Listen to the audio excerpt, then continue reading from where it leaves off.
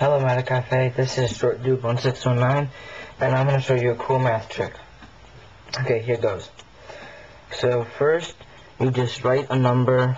I'm going to use 689. And once, any three-digit number has to be.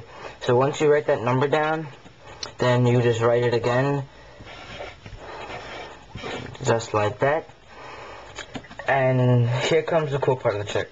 So you take that number, you divide it by 7. And in my case, I get this.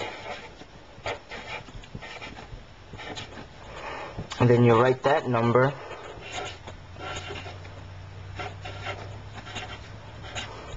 And then you divide that number by 11.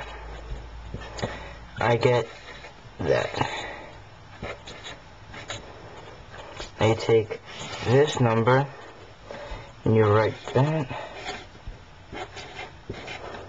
and you divide this number by 13 and your result should be your original number.